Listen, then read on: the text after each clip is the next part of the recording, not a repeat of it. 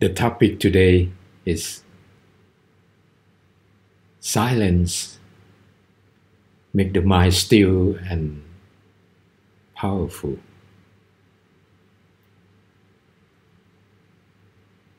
How we need silence in practicing meditation because a lot a lot of thought a lot a lot of things that pop up to your mind.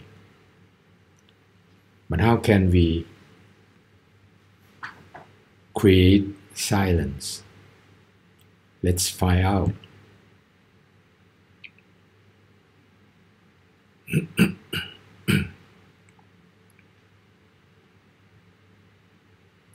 My name is Monk Chayanon.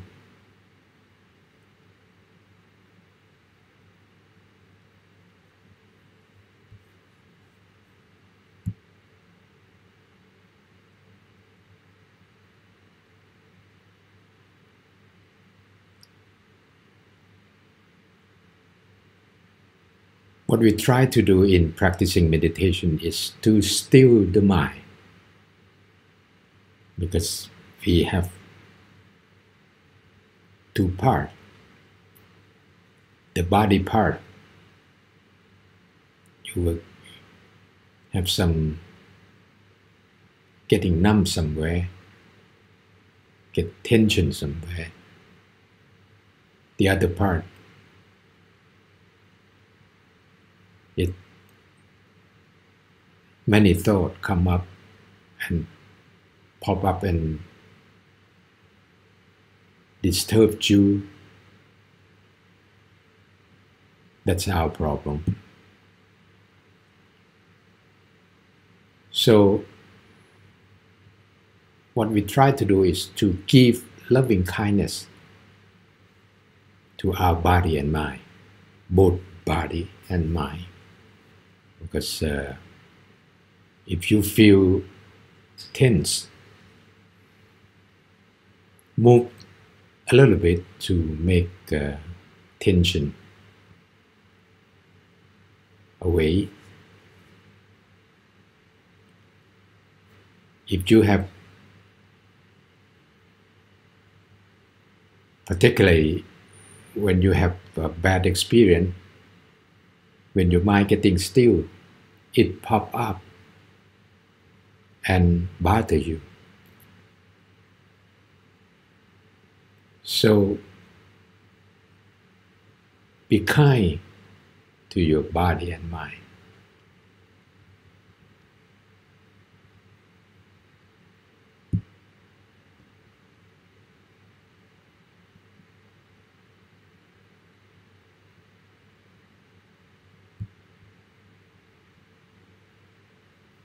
Next things is detach yourself from past experience and let it go. Of course, almost all of us has past experiences. It keep in our mind.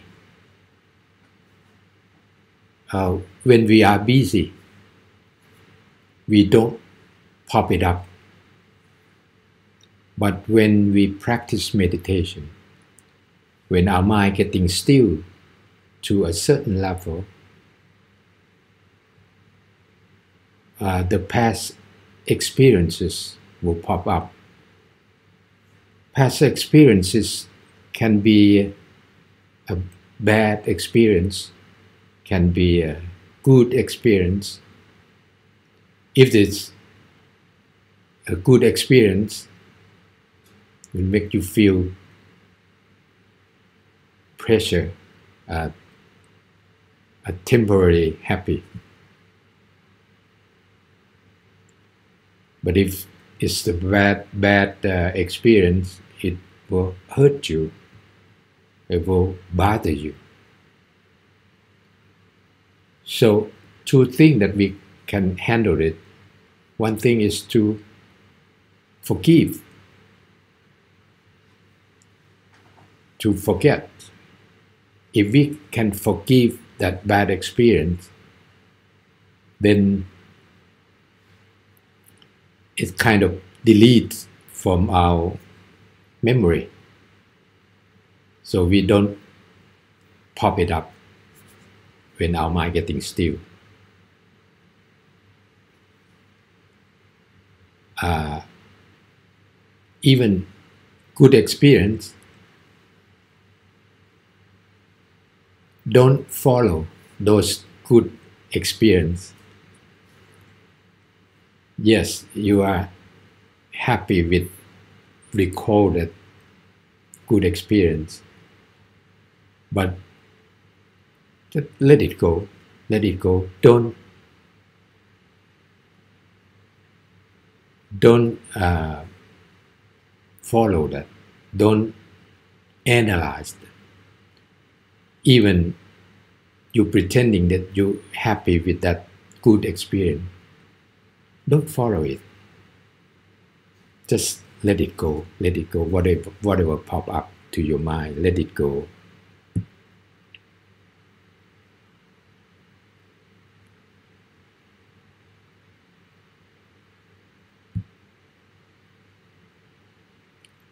then still your mind still your mind is not the way to control or push them. You know, even people, if you get control to a, a limited area, we try to get away from from that control. Our minds also, they don't want to be controlled. Uh, don't want to be pushed to do that to to press the mind so do not control it or push it or pull it just still your mind whatever pop up let go let go let go that's the way to free your mind. For your body, if you have tension somewhere, uh, if you have tension somewhere, your mind will pay attention to that. So move your body a little bit to release those tension.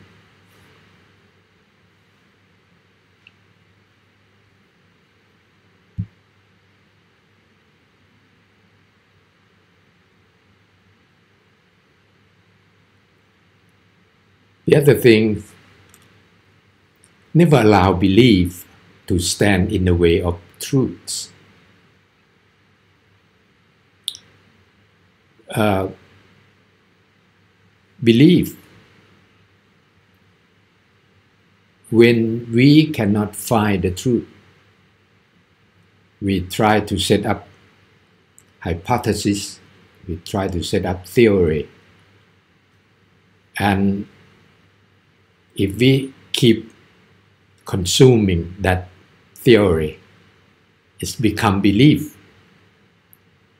And when we believe in something, when somebody tell you the truth, you will you will be against that. So uh,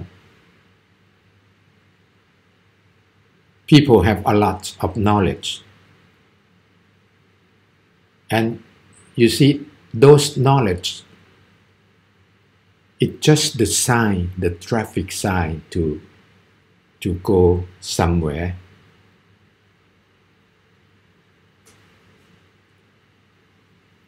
It's just the traffic sign, not the destination. Our destination is the truth. But along the way, we going to the truth uh, belief will, will, will stand in the way of truth and try to get the out of the way to the truth.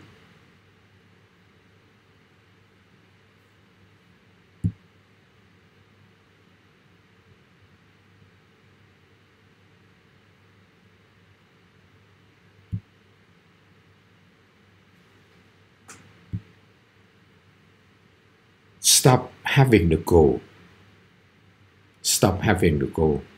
Uh, many people, when sit down practice meditation, uh, we expect to see something.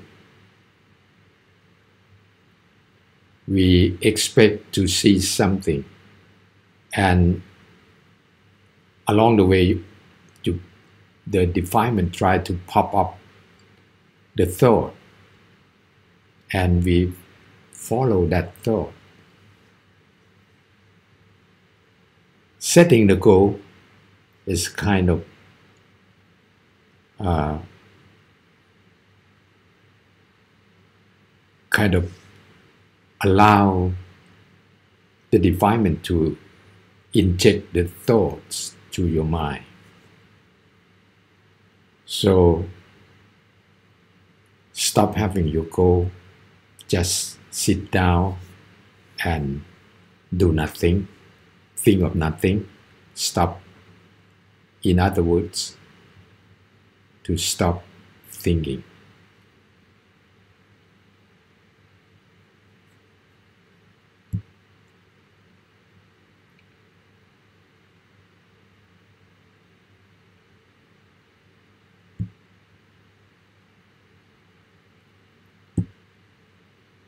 Don't talk to yourself.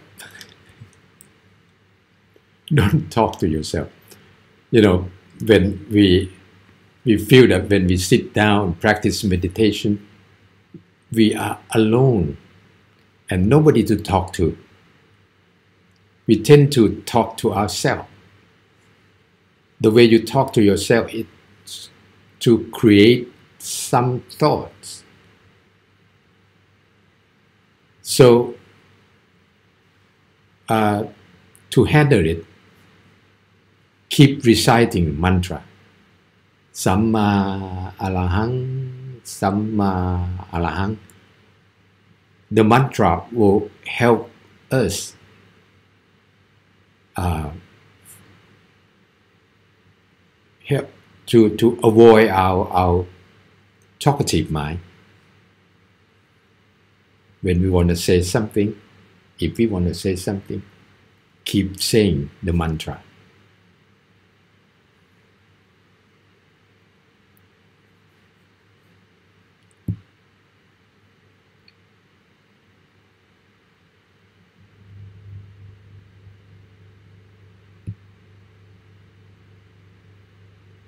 Then be comfortable but conscious.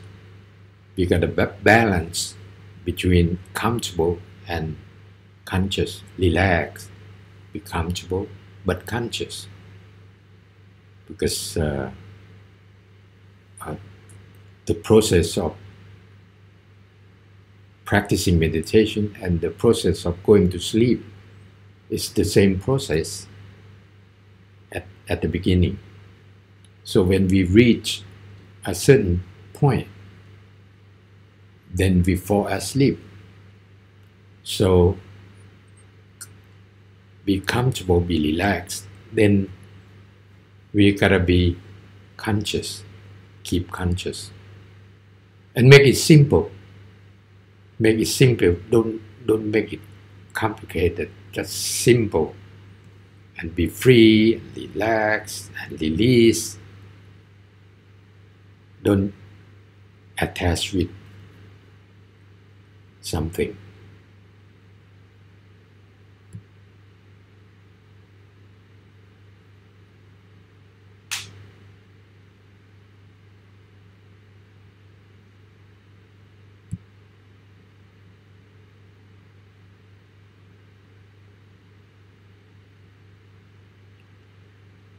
Now, if this is one example, if we uh, spread the syllable in a word apart, we will feel silent in the, in the space. For example, uh, if we make the space in mantra wider, like a sam ma ah, lahang. You know, during the space in between those syllables, we kind of uh, prepare ourselves for the next word. Most of the time, it is silent in that space. So we make a space in in mantra wider. The feeling of silence will stay longer. We try to make it longer. Eventually, sorry, uh, eventually there will be only stillness and happy feeling of spacious serenity. Try this one. It's not so bad.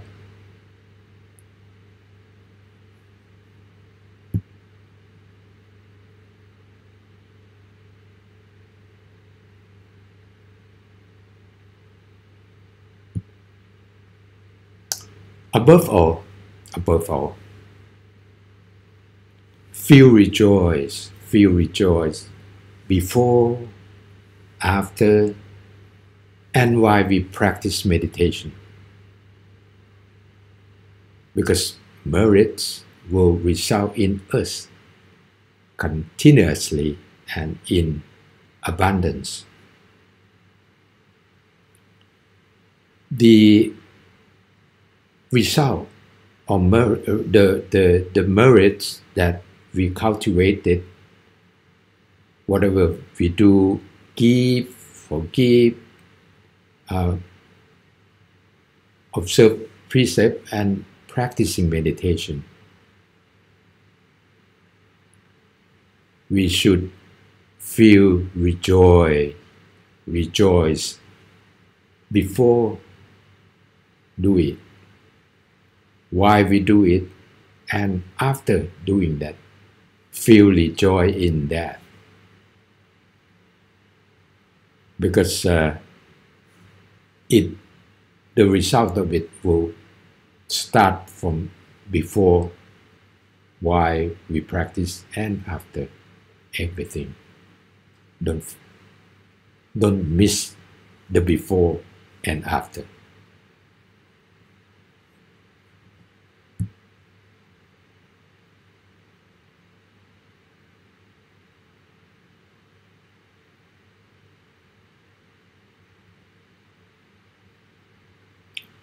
So rejoice in your merit. Rejoice in your merit. And you should feel rejoice, rejoice in cultivating mer- merit before, while, and after. That's it for today. Thank you, everybody, for listening.